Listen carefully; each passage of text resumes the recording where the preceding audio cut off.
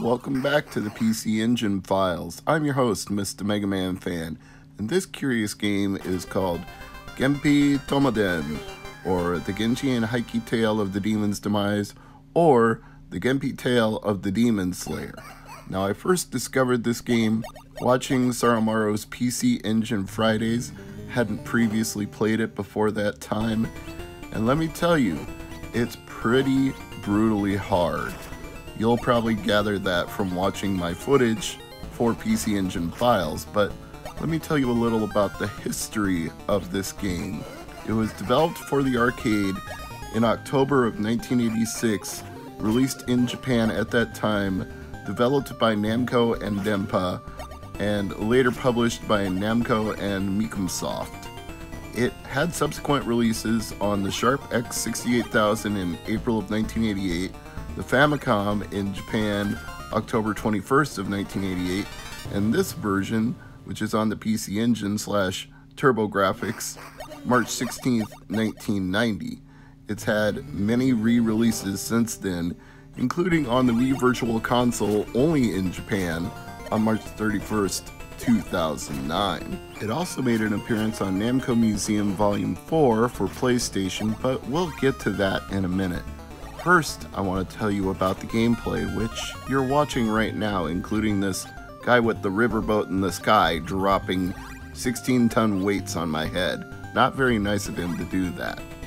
The player makes his way along the Japanese countryside. Well, that's a dark, ominous, gothic looking Japanese countryside if I say so, but I'll take their word for it. He makes his way along the Japanese countryside fighting enemies as they appear. And boy, do they appear frequently. You are getting mobbed in this game. You will die a lot. The game offers three types of action small mode, big mode, and plain mode. You're to see quite a lot of the small mode here. Big mode comes next, and then plain mode is the third stage that I managed to get through before the playthrough was done. Most stages have torii, which are used to transport the player to a different stage. Those are the gates that you walk into when you reach the end of a stage.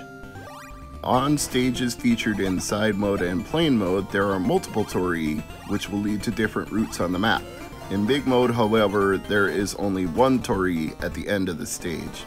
The leading character is a historical Japanese samurai, Taira no Kagekyo, also known as Akusubichio Kagekyo. And I am so sorry, I know I butchered that. He fell in the Battle of Dan no Ura at the end of the Genpei War. In Genpei Toma Den, he was resurrected and fights Minamoto no Yoshitsune and Saito Musashibo Benkei over the imperial regalia of Japan, as well as to defeat his enemy Minamoto no Yoritomo. The game also features the Sanzu River, place believed in Japanese Buddhism to separate current life and afterlife, resembling the concept of the underworld or hell. This river is often compared to the river Styx in Greek mythology. Therefore, some mythological characters like Emma O, god of the underworld, and the sun goddess Amaterasu, is that how you say it? Ama, Amaterasu, appear in the game. Again, I really apologize if I butchered the Japanese on that. So, this game was included on Namco Museum 4, and you would think a very culturally Japanese game like this would not have been included on the US version, but it was. It was retitled the Genji and Heike clans and localized to that degree with the appropriate amount of English necessary to understand what's going on, and it was included on Namco Museum Volume 4. Unfortunately, Volumes 2 and Volume 4 of the Namco Museum collection are two of the hardest ones to get, along with Volume 5. Volume 1 and 3 both got a green greatest hits re release, you know, with that green logo on the side, on the binding, on the, on whatever you want to call it, the fold in, the, on the Jewel CD, the place where you read the title if you stack them up in a CD case. And I hear my cat crying at me. I don't know where he is right now, but he may interrupt this voiceover. Anyway, if you're looking to buy this on Namco Museum Volume 4, it's probably going to set you back a little bit. Let me see what it's currently going for. Namco Museum Volume 4. Haven't looked at this in a long time since I got it a long time ago. Yeah, could be worse. Goes for $29 loose and $37 complete. So if you want to play the PlayStation version, you're going to pay for it, but I think it's actually even more expensive for PC Engine. And like I said, until I saw Saramaro play it, I didn't even know there was a PC Engine version. So I don't think PriceCharting has this on their list of TurboGrafx slash PC Engine games. So I'm gonna just take a stab at eBay and see what it tends to go for. Genpei Toma Den. Doing this live as I do the voiceover, and you're watching the big mode right now. The big mode is harder than you would think because you're swinging the sword in a full motion, so you actually have to hit some of the low enemies by swinging your sword before they get to you and letting the, how would you say, recoil, withdrawal, the arc of the sword returning, you have to like hit them with the sweep back instead of sweeping at them. Then you got this giant freaking skeleton here who even when he's a pile of bones still hurts you. You have to wait until the bones disappear completely, so that stymied me in big mode. At least when you die on a stage, it's generous enough to let you actually return to the stage. Hmm. Genpei Toma Den is not the most expensive PC Engine game, depending on which version of it you want. You can get it loose for 10 bucks. You can get it complete for 25. You can get the Famicom version for anywhere from 7 bucks loose to, wow, a dollar loose.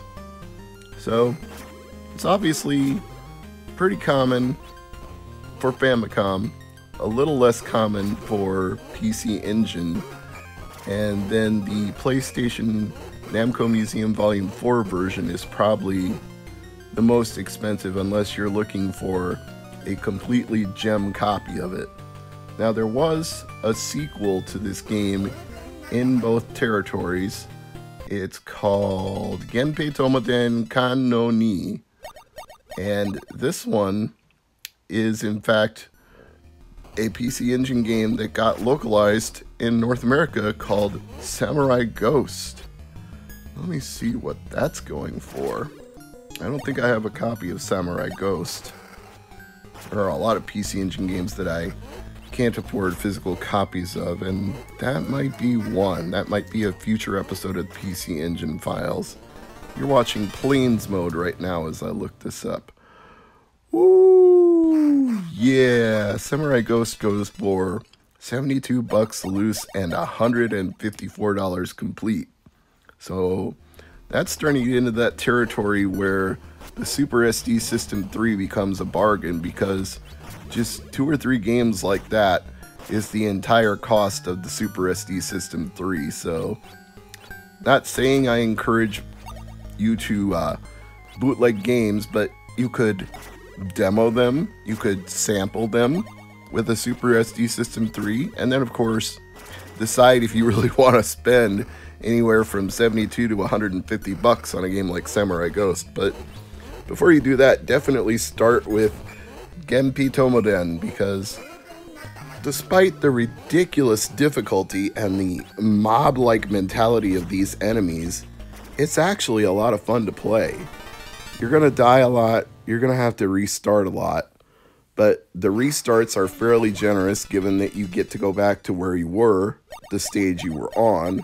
The stages themselves are not overly long, so if you bum rush your way through it, sometimes you can just get lucky and finish a stage. And I like the sound and design. It's a little bit weird because your character's bright red hair and purple outfit just are garish to look at, but I'd say this is one of those cases where the odd appearance of things is actually sort of the charm of it all. It's actually more fun because of that. I'm Mr. Mega Man fan. This is the PC Engine Files, and as always, thank you for watching.